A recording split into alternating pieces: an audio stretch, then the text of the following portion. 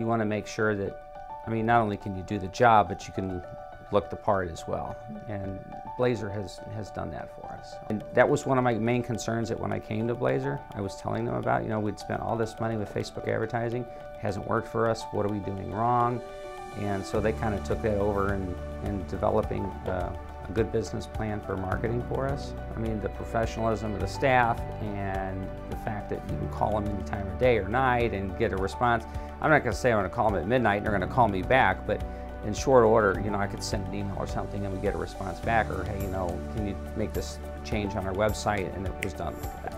Well, how is business like now that we're working with Blayzer? It's almost like it's on autopilot, believe it or not. Would I recommend Blayzer to another company? Yes, in fact, we've done it several times.